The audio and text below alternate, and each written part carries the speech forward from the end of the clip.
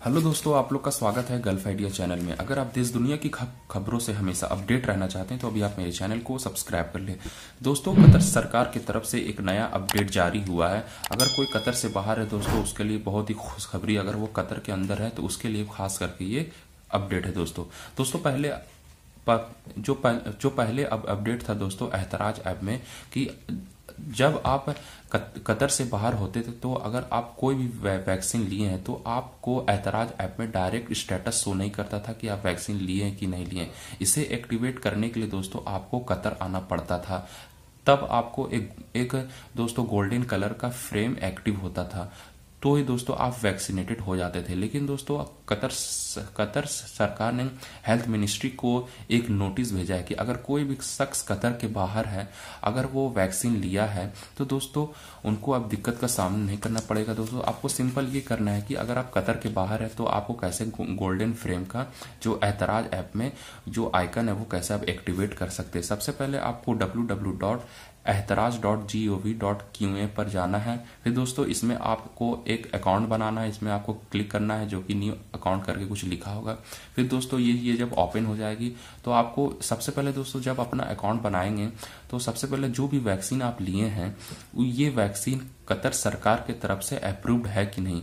अगर वो अप्रूव्ड नहीं तो दोस्तों, आप उस वैक्सीन को वहाँ पे अपलोड नहीं कर सकते हैं सर्टिफिकेट को। अगर जो भी वैक्सीन अगर आप लिए हैं, जो कतर सरकार की तरफ़ से अप्रूव्ड है तो ही आपका फॉर्म वहाँ पे सक्सेसफुली सबमिटेड होगा।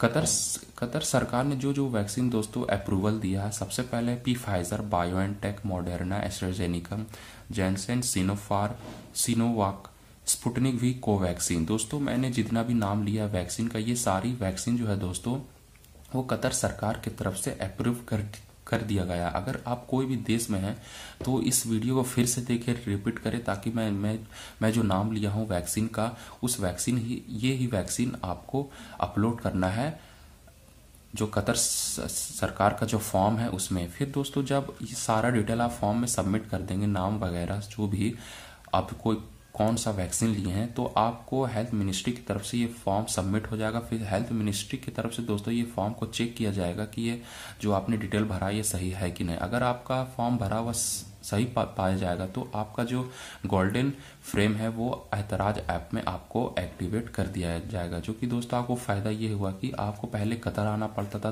तो ही आपका जो वैक्सीनेटेड आप होते थे। जो कि एतराज़ ऐप में होता था। लेकिन आप आप किस, आप किसी भी देश में है तो आप एतराज़ ऐप में कोई भी देश से अपना फॉर्म भर सकते हैं और अपना गोल्डन फाइबर जो स्टेटस है वो एक्टिवेट हो जाएगा। दोस्तों, मैं आपको एक खुशखबरी ये बता दूँ कि 28 फरवरी से, कल से मतलब दोस्तों, जो पीसीआर टेस्ट है और होम क्वारंटाइन है, वो खत्म होने वाला है। मैं मैंने दोस्तों इस, इसके लिए एक वीडियो भी बनाया जो जो कि आप जाके देख सकते हैं।